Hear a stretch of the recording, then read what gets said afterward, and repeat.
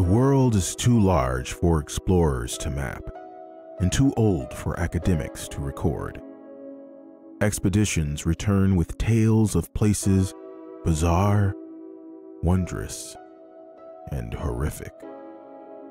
You are an explorer, braving the unknown in search of riches, knowledge, power, or something else. Most of all, you seek arcana, strange devices holding unnatural powers. They range from a humble piece of jewelry to vast sculptures. There are many religious and scientific theories around their existence, but most settle somewhere in between. Citizens flock to Bastion. Its vast industries provide dangerous but dependable work, and its docks send guns, chemicals, and newspapers to distant neighbors. Beneath the city, the underground stretches just as far. Sewers twist into tunnels, hiding ancient caves and forgotten vaults. Fallen cities are adorned with statues of star beings. Cultists manifest their fervor into reality. Belligerent unions prepare for a cosmic invasion. Familiar landscapes are overrun by strange weeds.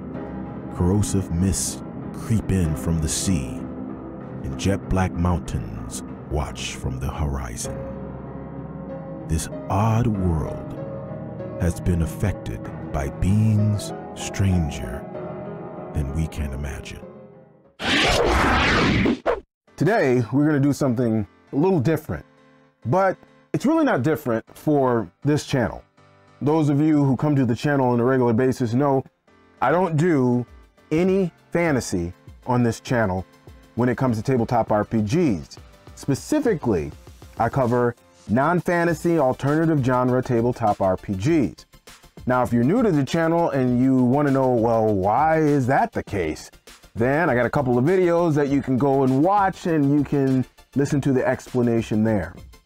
But even though this might be something expected for those of you who are regulars, it's still a little different because the tabletop RPG I'm covering is different.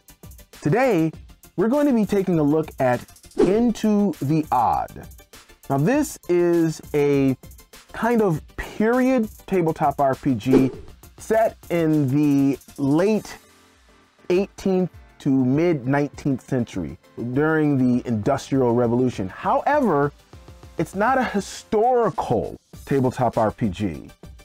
It's just that's the parallel setting because Into the Odd is very odd. And we're going to see that as I introduce you. Into the Odd was created by Chris McDowall and the art was by Johan Nohr. It is a rules light tabletop RPG, though I like to call it more like rules brief because there seems to be a whole lot of little rules, but they're explained very quickly. Still rules light in that regard. Not that there's not enough rules, there are plenty. It's just that they're very quick in how they explain them. The crux of Into the Odd is that the PCs are always finding themselves going on what's called expeditions. The way that they've kind of set it up, it was kind of like a dungeon crawl kind of thing. And if that's the way you want to do it, you can. But they have it to where, oh, you can expand and have a very interesting and robust world if you're willing to work a little bit on it. And we'll get into that in one second. But first, let's take a look at character creation.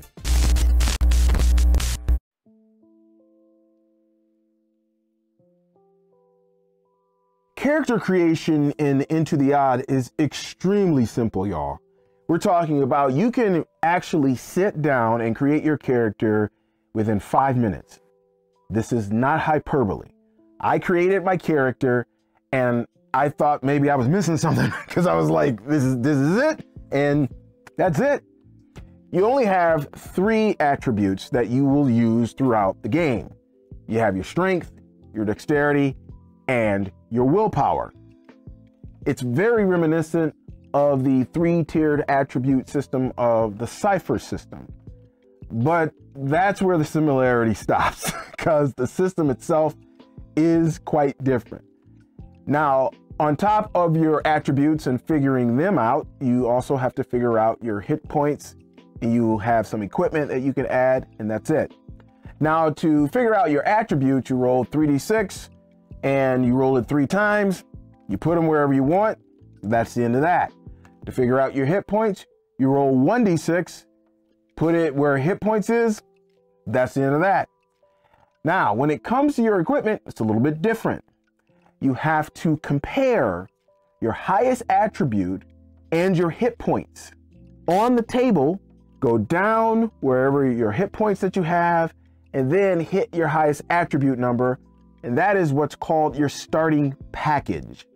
That's the equipment you will have on top of some basic stuff that everyone has, like mapping equipment, camping stuff, all the rest of that. Then that's it. That is the end of your character and you are ready to go. That's why I say you might want to wait for the in-depth stuff until you actually get into the game because it can get very interesting from here.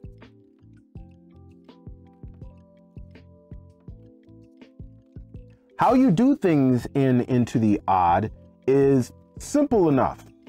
What you do is you choose whatever attribute that you're going to use. Let's say, for example, my character that I created. Her name is Honor Pacheco. We're going to use her as the example. And her abilities are Strength 8, Dexterity 13, and her willpower of 12. And let's say, for example, that she wanted to climb up a wall or a fence that they needed to get over. So everybody has to make a basic dexterity roll. How you do it is number one, it's actually called a save, and pretty much everything is called a save. You make a dexterity save by rolling 1d20, and you have to roll under whatever your attribute is. So in the case of honor, I would roll her dexterity, and if I get under 13 or equal to, then I have succeeded climbing that wall.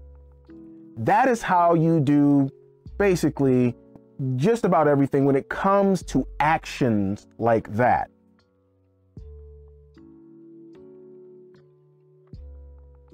Combat is a little bit different than it is to complete an action. Uh, no initiative is thrown because it automatically makes it so that the player characters will go first. But how you actually attack and do things is pretty different. First, you look at the weapon that you're using and you look at the die as far as the damage that that weapon does. Let's say, for example, Honor has a long axe and she has a die 8 for that long axe. Now, if she was going to attack something, she would roll a die 8. She would see how much damage that she potentially is going to cause in this round. Then you would subtract the armor of whatever is being attacked. And if it goes to zero, then it doesn't take any damage. If there's something left over, it takes some damage. Now, let's say you take all of its hit points down to zero. It doesn't mean that it's dead, just means that it's wounded. then it will go to the strength. Now, if you take all of the strength down, then it means that it's dead. Hasta la vista, baby. And that includes your character. Your character will be dead if that happens to them also. But since it's so easy to make up a character, really dying in this game is not that big of a deal, unless of course you've had a character for a long time. Combat that way is really quick and can be really fun in a narrative sense.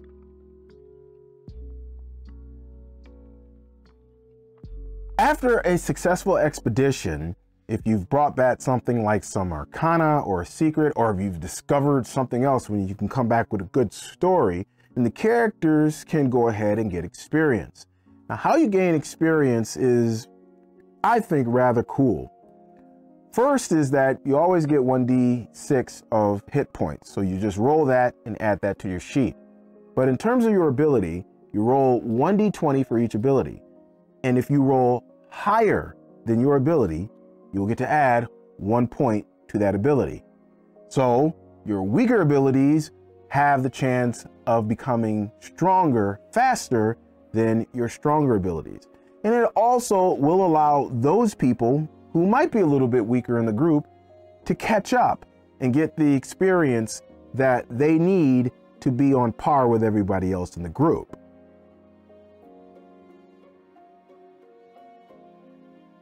Now, I mentioned in the beginning introduction, there were two main places.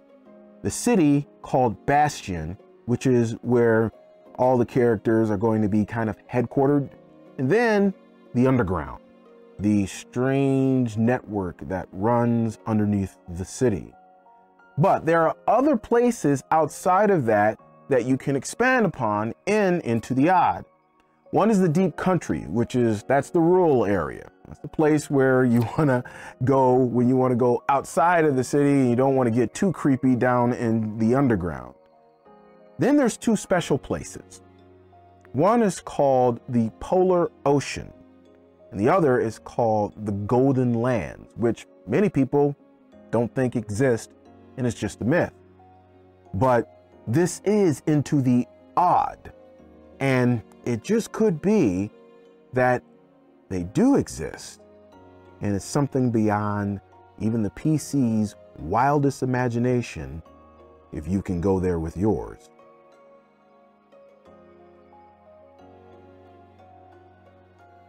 Now, one of the cool things in terms of expanding the world or your world of Into the Odd is the Oddpendium. And here are just a whole bunch of tables where you can answer certain questions either during a session or before a session to use it to kind of build your specific Into the Odd world. And it can spark some ideas as well as you're playing or just rolling these things up to add those strange things that this world may have. This is where you can really have a lot of fun. As a GM, even as a player, you can have a lot of fun with this. Into the Odd is published by Free League Publishing. And yes, I know I do a lot of videos on Free League Publishing games, but they treat me right, man between Free League Publishing, Monte Cook Games, and there are a couple other indie game companies who have really started to send me some stuff as well. So, hey, you start getting me some good games and I will cover them as soon as I possibly can on the channel. So it is what it is. I still got stuff to cover from Free League Publishing, believe it or not. They sent me a whole bunch of stuff. I have almost every game they have on their website. I'm not lying. So I'm so uh, I am going to cover it eventually. But as I'm looking through into the odd, I'm going, man, I'm itching to play this game for real. again, it's not about rules light for me, really. It's about whether the concept is interesting enough to draw me in to want to create a story with other people. That's really what it's about. Now, the rules themselves have to make it comfortable to create that story. Rules light or rules medium or rules heavy, it has to make it comfortable to create that story or the particular story that we want to create within that genre and in that world. That's what I'm saying. Ah, I don't know. Got any value out of this video, folks? Then you can go ahead and I'll crush your like button. Also, if you want to get a copy of Into the Odd, that's down in the description below. There's a link of a couple different versions of it. Go ahead and click on that and go grab that. And like I said, 172 pages in the PDF. It, it will be a lot of fun. You could be up and running that game easily within a half an hour. Easy. Now, if you want to stick around and hang out with us here at the RPG Elites tribe, then you can go ahead and hit the subscribe button and the notification bell. I try to come out with videos every Tuesday and Friday, God willing. Let's go to the question of the vid. Now, Into the Odd is clearly a cross-genre tabletop RPG. It's a little bit more cerebral. I like it. I just really, I'm, I'm looking forward to this. I'm gonna play this game even if I have to play it solo. Seriously, I, I am looking forward to playing this. What other kinds of cross genre, those true cross genre where they, they don't quite fit into one category, what other games do you know that fit into that category that you might want to get somebody hip on? If you know something, then now is the time to hit it down into the comments below and let other people know in the tribe so they can check those games out just like Into the Odd. And that's going to do it for me, folks. That's it. That means that your boy has got to do his Snagglepuss. So exit, stage left. If you have a game this week, y'all, happy gaming. I pray it is an RPG Elite session. So until next time, God willing, your boy servant has got to say peace 5,000 elites. Yeah, I am out.